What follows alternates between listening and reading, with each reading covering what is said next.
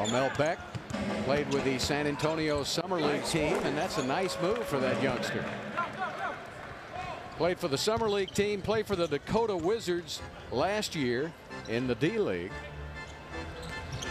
Played his college ball in UNLV, so he's trying to find a roster spot. Actually, he was brought in when Shane Battier hurt his hamstring because they didn't have enough players uh, really to scrimmage.